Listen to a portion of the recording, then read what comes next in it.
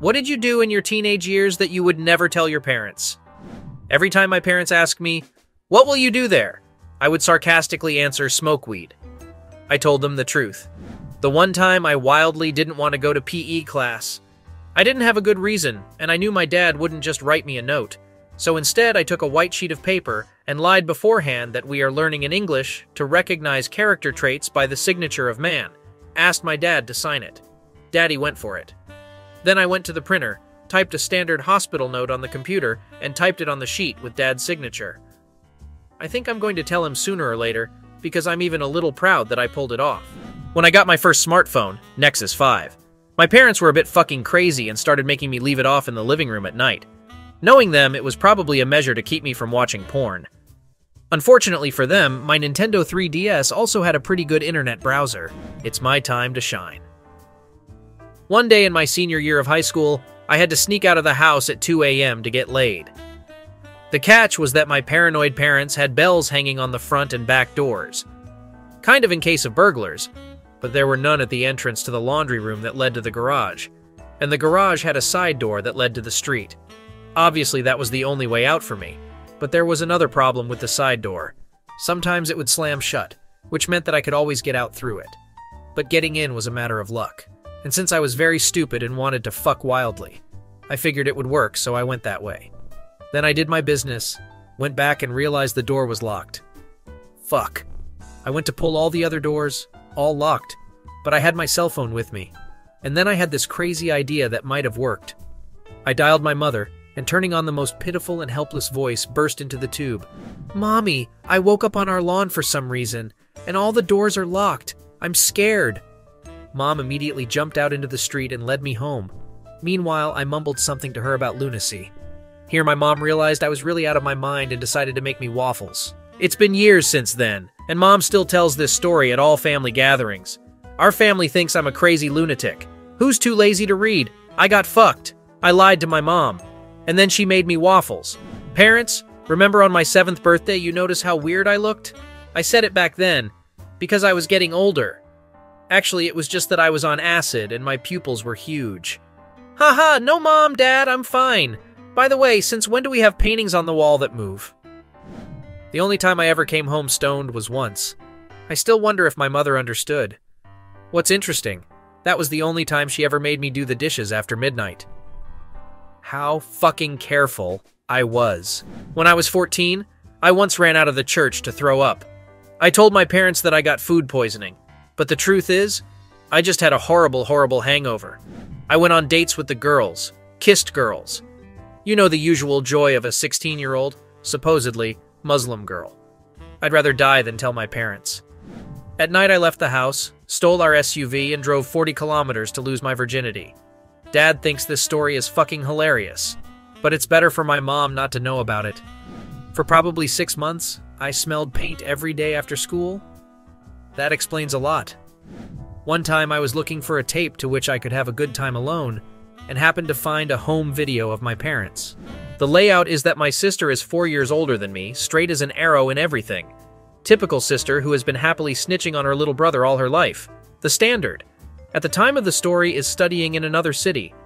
I am exactly her opposite. All the time getting into trouble, always acting fast and risky. So, I'm in 12th grade, for quite a long time working, studying for decent grades. And then my parents decide that they can finally go on vacation and leave the house to me. Before they left, they hired John the housekeeper to help me around the house. John didn't care at all what I was doing, as long as I didn't burn the house down. It's a beautiful Saturday morning. I wake up, pour myself a glass of booze from Dad's, locked, stash, and turn on the porn. I'm only wearing underwear. It only takes 10 minutes and. Surprise! My sister steps across the threshold. Luckily, I heard her car in time, so I had time to turn off the prawn and throw a blanket over my mostly naked and horny body. My sister obviously notices me wrapped in the blanket, hanging out in the living room with a red face. Hey, Hey, I didn't know you were coming home. Erm, okay, I'm going to take a shower. It would seem that this should be the end of the story, but somehow it isn't. Next thing I know, she finds my glass of booze. Or rather, I managed to drink it, but she still smelled it without saying a word to me. She, in order to keep the smell, wrapped the glass in cling film and wrote a note to my parents, saying that she suddenly decided to stop by and found a glass near my chair, and then took both glass and a note to parental bedroom. Two days fly by. I prepare for my parents' imminent return and give the whole house a once over. While I do the cleaning, I happen to stumble upon a neatly hidden note in glass. I read the note and realized that it was there confusing not only me, but also John, the man who was helping around the house. It turns out that in addition to the glass, she found somewhere else in the house with condoms and lube. I read the note in full. There was no one nearby. Then I decide to replace the contents of the glass by removing the tape, rinse the glass with Coke, and wrapping it back in the tape. Then I go to John to show him the note.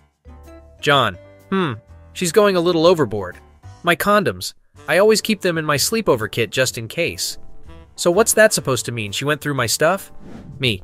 Yep. And the next thing was like a predictable but perfectly staged movie. The parents came home and John took them aside to talk about the note and the glass. The parents sniff the glass but feel nothing. Then they read the note and take my sister's words as paranoid delusion. Soon my sister was receiving a serious lecture on why you shouldn't touch other people's things and invade other people's personal space. And that's how I, a 17 year old drunk who almost got caught jerking off in the living room, earned an apology from my parents. No one knows about it. I'm a grave. My mom let me bring my friends home after graduation and let them all stay at our place for the night, believe it or not. But she had arranged beforehand with the other moms that we would have a little party with beer and some new drinks. When we got there, everyone gave their moms the keys to the cars. Then we turned on the music, set up a table, and sat down to play Dungeons and Dragons all night. And mom still thinks we were boozing. If you tell her the truth, it would break her heart.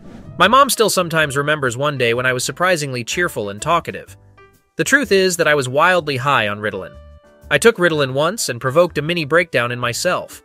Called my mom at 6 a.m. and told her about my depression, anxiety, and other problems I had from her and my dad.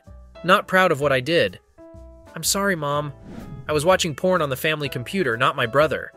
Brother also watched. Oh my god. I suspected that Asian porn wasn't my doing.